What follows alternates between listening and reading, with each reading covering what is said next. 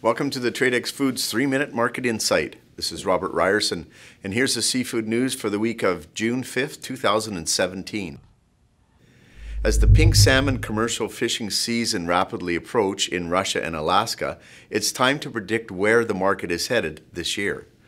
Russian Fishing News recently reported that in 2016, Russia became the world's largest producer of salmon, producing 53% of the global salmon production.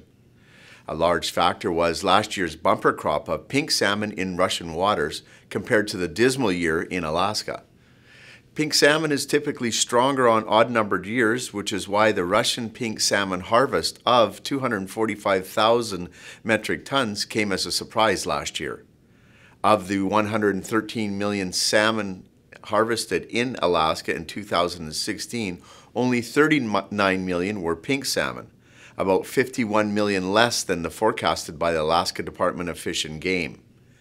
The ADFG are projecting 204 million salmon to return to Alaska this year, with strong estimates for pink salmon of around 142 million fish. 2015 was the last bumper crop year in Alaska, with 191 million pink salmon returning, making up about 70% of the total salmon state forecast.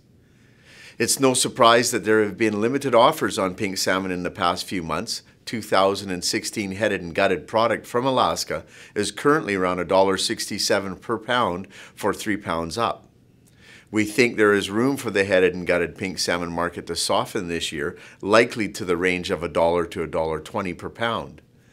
In the twice frozen market, raw materials have held steady since last year, around 2900 per metric ton for Russian product. We do expect this number to soften by August when fishing efforts will resume in Russia and product will begin to reach cold storages. 2015 was the last bumper crop year and Russia raw materials hovered between 2400 and 2500 per metric ton. Compare this to Alaskan raw material, which several Chinese processing plants quoted to be between 3100 and 3300 per metric ton, depending on the catch area in Alaska. It's too soon to make concrete predictions for new season pricing, but we do expect to see a price drop in pink salmon pricing by September, likely by 10 to 15 cents a pound. To wrap things up, our Tradex Live offer of the week is for 7 ounce IQF Sinbad Atlantic cod loins. These are number one quality 2016 product of China and sharply priced at $3.25 a pound US dollars. Click or tap the icon above to view this offer. Thank you for joining me for the Tradex Foods 3 Minute Market Insight. This is Robert Reierson. Buy smart and eat more seafood.